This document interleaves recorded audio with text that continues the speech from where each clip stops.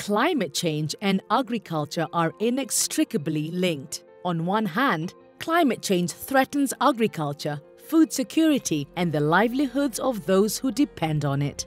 But at the same time, it is estimated that our food systems could be responsible for a third of global greenhouse gas emissions. Established under the United Nations Framework Convention on Climate Change in 2017, Koronivia Joint Work on Agriculture officially acknowledges the unique role that agriculture can play in tackling climate change.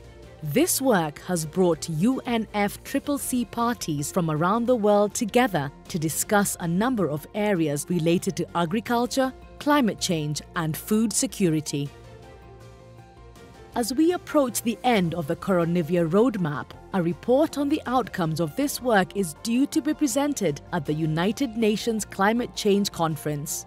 Although it is difficult to predict the outcomes of Koronivia discussions, it is possible to identify five categories that could offer various combinations or pathways for action.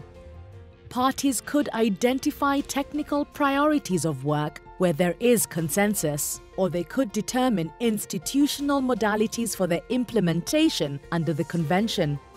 They could extend the roadmap to discuss present or new topics, recognize the work performed so far, or Koronivia joint work on agriculture could remain dormant with no agreement reached.